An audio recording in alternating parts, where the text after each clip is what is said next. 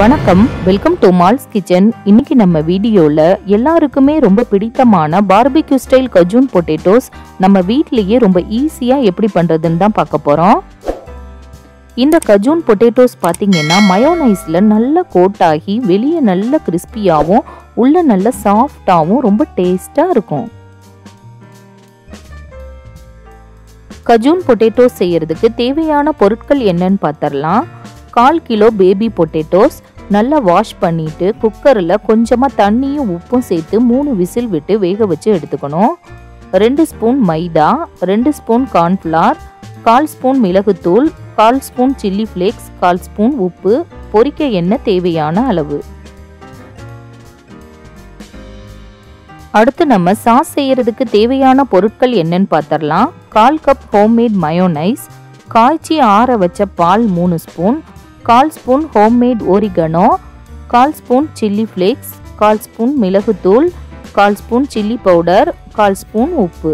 First நம்ம வேக வச்சு எடுத்து வச்சிருக்க பேபி பொட்டேட்டோஸை தோலோடு எடுத்துகிட்டு நம்ம உள்ளங்கை வச்சு லைட்டாக அந்த மாதிரி அழுத்தம் கொடுத்து எடுத்துக்கலாம். பேபி பொட்டேட்டோஸ்க்கு பதிலாக நார்மல் பொட்டேட்டோஸை தோலோட நாலாக கட் பண்ணி வேக வச்சும் சேர்த்துக்கலாம். இதே மாதிரி மீதி இருக்கிற எல்லா பொட்டேட்டோஸையும் நம்ம ரெடி பண்ணி எடுத்துக்கலாம்.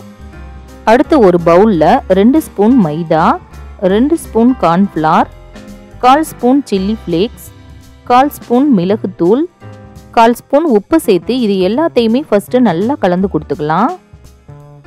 அடுத்து இது கூட கொஞ்சம் கொஞ்சமாக தண்ணி சேர்த்து கட்டி எதுவும் இல்லாமல் கொஞ்சம் திக்காக இந்த கன்சிஸ்டன்சிக்கு கரைச்சி எடுத்துக்கணும்.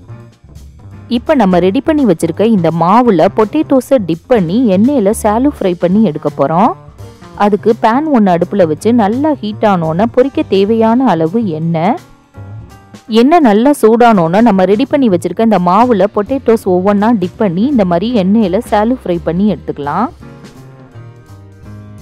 இப்போ பாருங்கள் பொட்டேட்டோஸ் ஒரு சைடு நல்லா வெந்துருச்சு. இதை திருப்பி விட்டு இன்னொரு சைடும் நல்லா வேக விடணும். இப்போ பாருங்க ரெண்டு சைடுமே நல்ல கோல்டன் கலரில் வந்துருச்சு. பொட்டேட்டோஸும் நல்ல கிறிஸ்பியாக ஆயிடுச்சு.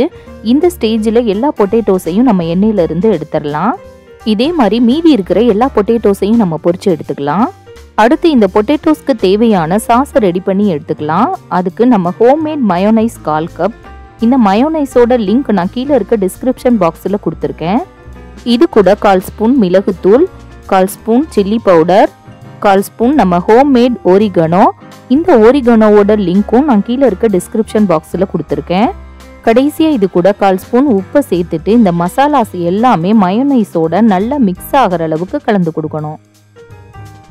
இப்போ பாருங்க இந்த சாஸ் ரொம்ப திக்காக இருக்குது நமக்கு இன்னும் கொஞ்சம் லிக்யூடாக வேணும். அதுக்காக மூணு ஸ்பூன் பால் மட்டும் இது கூட சேர்த்து நல்லா மிக்ஸ் பண்ணி விட்டுறலாம். இந்த சாஸோட கன்சிஸ்டன்சி பார்த்தீங்கன்னா இந்த அளவுக்கு கொஞ்சம் லிக்யூடாக இருக்கணும். அடுத்து நம்ம இதை ஒரு பிளேட்டில் சர்வ் பண்ணிடலாம் நம்ம பொறிச்சு எடுத்த பொட்டேட்டோஸை இந்த மாதிரி வச்சுட்டு இதுக்கு மேலே நம்ம ரெடி பண்ணி வச்சுருக்க சாஸை பொட்டேட்டோஸ் மேலே ஃபுல்லாக கவர் ஆகிற அளவுக்கு இந்த மாதிரி ஊற்றிக்கலாம் இந்த கிறிஸ்பி பொட்டேட்டோஸ் மேலே இந்த மாதிரி சாஸை ஃபுல்லாக ஊற்றிட்டு எடுத்து சாப்பிட்றப்ப டேஸ்ட் அட்டகாசமாக இருக்கும். கடைசியாக இதுக்கு மேலே டெக்கரேஷனுக்காக பொடியாக கட் பண்ண கொத்தமல்லி கொஞ்சம் கொஞ்சமாக சில்லி பவுடரை தூவி டெக்கரேட் பண்ணிக்கலாம். உங்களுக்கு ஆனியன் ஃப்ளேவர் பிடிக்கும்னா பொடியாக கட் பண்ண ஆனியன் கூட சேர்த்துக்கலாம். பார்க்கும்போதே வாயில எச்சில்லூறக்கூடிய பார்பிக்யூ ஸ்டைல் கஜூன் பொட்டேட்டோஸ் தயாராயிடுச்சு. இனிமே எல்லாரும் கஜூன் பொட்டேட்டோஸை பார்பிக்யூ நேஷனில் போய் சாப்பிடாம நம்ம வீட்லேயே ரொம்ப ஈஸியாக செஞ்சு சாப்பிட்லாம். இந்த வீடியோ உங்களுக்கு பிடிச்சிருந்தா லைக் பண்ணுங்கள் மறக்காமல் ஷேர் பண்ணுங்கள் நன்றி.